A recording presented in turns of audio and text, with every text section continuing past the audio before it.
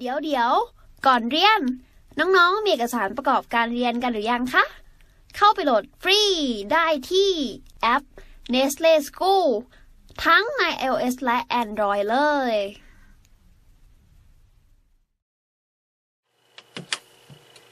ข้อ 5 นะคะ in the figure above lines L and M are parallel y equal 20 and c equal 60 what is the value of x เขาให้มานะคะว่าจากรูปรูปนี้นะทุกคน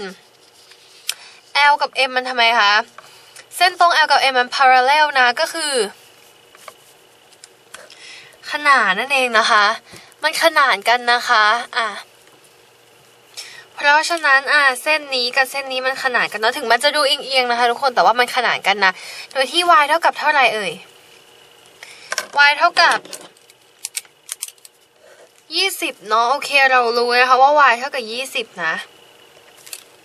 แล้วก็ c นะคะ หรือว่า z เนี่ยเท่ากับหกสิบใช่ไหมชึบแล้วเขานะคะก็ถามว่าอะไรเอ่ยเขาถามว่า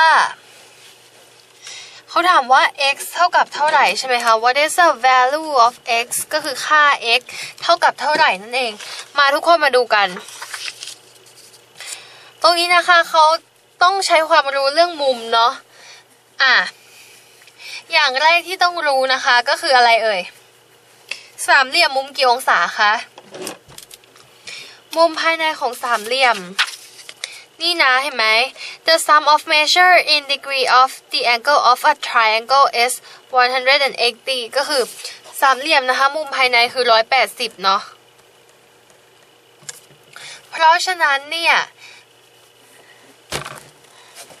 มุมภายในของสามเหลี่ยมนะคะ ก็คือ 180 องศานั่นเอง ทีนี้ทุกคนดูนะ คือเขาบอกว่ามันขนานกันใช่ไหมคะการที่เขาบอกว่ามันขนานกันนะคะ ที่จริงแล้วมันเป็นการเฉลยเลยนะทุกคน เพราะว่าถ้ามันขนานกันเนี่ย มันจะยังไงคะทุกคนดูนะ ทุกคนจำแบบนี้ได้ไหมเอ่ยมุมแย้งอะค่ะ ถ้ามันขนานกันนะคะ มุมนี้นะ มันเป็นเหมือนตัว C ใช่ไหมคะ ตัว Z อะอย่างเงี้ยใช่ไหมมุมนี้มันจะเท่ากันนะคะ แล้วพอถ้ามุมนี้เท่าไหนนะคะ มุมตรงข้ามเนี้ย มันก็จะเท่ากันด้วยนะ อ่าทุกคนดูนะคะ อันนี้ยี่สิบใช่ไหมแสดงว่าฝั่งนี้คือหนึ่งร้อยหกสิบเนาะเพราะว่ารวมกันได้ร้อยแปดสิบนะคะ ครึ่งวงกลมอย่างเงี้ยก็ร้อยแปดสิบนะทุกคน เหมือนกันนะเพราะฉะนั้นเนี่ยอันนี้ก็ร้อยหกสิบอันนี้ก็ ร้อยหกสิบใช่ไหมคะ อันนี้ก็ร้อยหกสิบเพราะว่าอันนี้นี่มันก็แย้งเหมือนกันนะ ชึบชึบชึบเห็นไหมว่ามันเป็นตัว C นะคะ เนี่ย ชึบขึ้นมาแล้วก็อย่างนี้ต่อนะ เนี่ย ตรงเนี้ยก็ร้อยหกสิบร้อยหกสิบร้อยหกสิบเห็นไหมคะว่าครึ่งหนึ่งนี้ร้อยแปดสิบครึ่งหนึ่งนี้ร้อยแปดสิบจะอย่างนี้ก็ร้อยแปดสิบนะคะ แบบนี้ก็ร้อยแปดสิบเพราะฉะนั้นเนี่ยตรงเนี้ยค่ะมันยี่สิบนะ และทีเนี้ยเขาก็ให้มาเลยนะคะว่า c เนี่ยคือหกสิบเพราะฉะนั้น x บวกหกสิบบวกยี่สิบได้เท่าไหร่เอ่ย x บวกหกสิบบวกยี่สิบก็ต้องได้หนึ่งร้อยแปดสิบเนาะก็คือสามเหลี่ยมใช่ไหมคะสามเหลี่ยมรูปนี้นะ อะ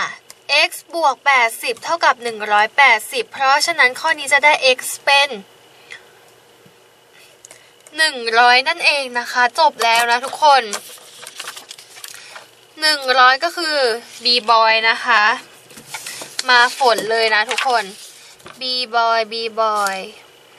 เรียบร้อยนะคะ อะ ตรงนี้นะสิ่งที่ต้องรู้นะคะ ก็คือถ้ามันขนานกันอย่างเงี้ย ถ้ามัน parallel กันนะคะ ตรงมุมอย่างเงี้ยมันจะเท่ากันนะทุกคนดูนะ อันนี้มันอย่างงี้ใช่ไหมคะ มุมตรงเนี้ยทุกคนมันจะเท่ากันนะ ส่วนฝั่งเนี้ยอีกครึ่งหนึงเนี่ยมันก็จะเท่ากันนะ ดูนะคะ มุมแดงเนี่ยมันเท่ากันหมดเลยนะ ส่วนอันนี้เนี่ยมุมน้ำเงินมันก็เท่ากันหมดเช่นเดียวกันนะคะ ก็เป็นเรื่องมุมเยื้องเนาะมันก็จะเป็นตัว C อย่างนี้พอดีนะคะ แล้วเส้นตรงเนี้ยมันต้องขนานกันนะ เราก็จะได้ว่ามุมนี้นะคะ เท่ากับมุมนี้เนาะได้นะคะทุกคนประมาณนี้นะข้อนี้นะคะเขาเนี่ยบอกเรามาอ้อมๆนะว่ามุมเนี้ยคือ 20เนาะเขามาพูดตรงนี้แทนนะคะแล้วเขาก็มาบอกเรานะว่า L กับ M เนี่ยมันขนานกัน ก็คือก็คือมุม R Y เท่ากับ 20เนี่ยก็คือมุมนี้นั่นเองนะ เรียบร้อยนะคะ ข้อ 5 นะ ตอบอะไรเอ่ย ตอบบีบอยใช่ไหมใช่ค่ะ ข้อ 5 ตอบบีบอยนะคะ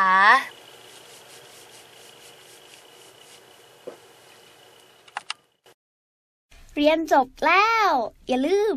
เข้าไปฝึกทำข้อสอบแบบจับเวลา ในแอป Nestle School กันด้วยนะจ๊ะ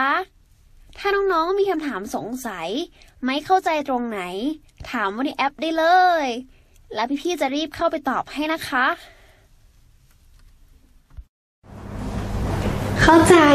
เพราะเปิดใจเรียนรู้ค่ะ